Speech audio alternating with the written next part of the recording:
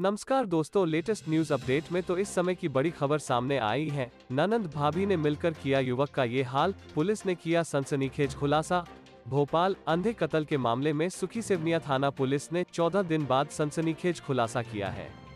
Police ने खुलासा करते हुए बताया कि मृतक दो महिलाओं का अश्लील वीडियो बनाकर ब्लैकमेल करता था, जिससे दोनों परेशान हो चुकी थी। दोनों महिलाएँ रिश्ते में ननंद भाभी हैं। फ़िलहाल पुलिस ने दोनों महिलाओं को गिरफ़्तार कर लिया है। मिली जानकारी के अनुसार मृतक सूरज गौड़ पिछले डेढ़ साल से आरोपी ननंद भाभी का अश्लील वीडियो बनाकर शारीरिक शोषण कर रहा था। सूरज की हरकतों से दोनों महिलाएँ परेशान हो चुकी थी। वारदात के दिन दोनों सूरज के घर उसे समझाने पहुँची थी, लेकिन वो नहीं माना। वहीं, जब सूरज अपनी बातों पर अड़ा रहा तो दोनों महिलाओं ने उसके सिर पर पत्थर से हमला कर दिया, जिससे वो बेहोश हो गया। इसके बाद ननंद भाभी ने मिलकर सूरज का गला घोटकर मौत के घाट उतार दिया। फ़िलहाल पुलिस ने ननंद राधिका और भाभी संगीता को गिरफ़्तार कर लिया है।